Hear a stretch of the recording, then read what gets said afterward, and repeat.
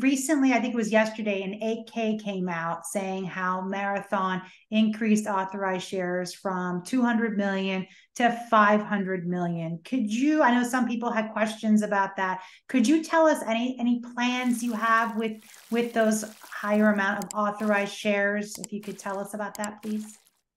Sure. Um, so, you know, one of the challenges um, we and other miners in our industry have is typically because the initial interest in uh, Bitcoin miners from the uh, stock market investors was predominantly from retail investors. So we have thousands and thousands of investors, many of whom don't vote on matters.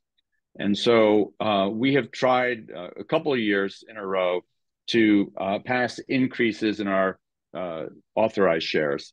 Uh, and uh, because you need over 50% of your shareholders actually, or shares, shareholders representing over 50% of your shares um, outstanding and issued to vote, it can be very hard and very expensive. You know, we have to hire proxy solicitors, we have to print proxies it's a lot of expense that's destroying value for our shareholders as opposed to creating value because we're spending money on something um, that um, really uh, could be better spent on investing in growth instead. And so we said, okay, let's find a way to get the authorization to increase shares and let's get an authorization that's big enough so we have plenty of shares for the future. So we don't have to go back to the mill every year.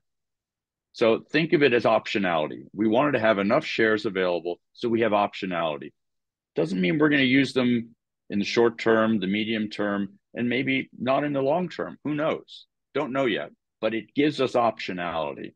And if there's one thing you'll always hear me talk about is, you know, the one thing you never want to lose is optionality because that gives you the ability to take advantage of luck. And luck is really manufactured. It's opportunity meets preparation and preparation part of preparation is optionality so wow. we think that having the shares authorized gives us the options now midterm or in the long term to be able to do things uh, and take advantage of situations in the marketplace to move quickly you know just if you go back to this convertible bond that we raised in late 2021 you know we were able to raise it at the peak of the market um, you know again with a 1% coupon on it in a time when you know uh, soon thereafter nobody could raise any capital for Bitcoin miners. So being able to time markets and do things requires that you're prepared and able to do it, and that's why we want to be in a position where we have maximum optionality.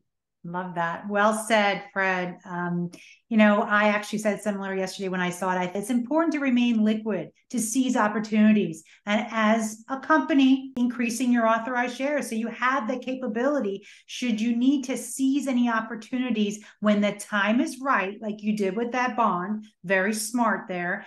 And you have that capability. So optionality is key. Very well said. I love that. Perfect. That was great.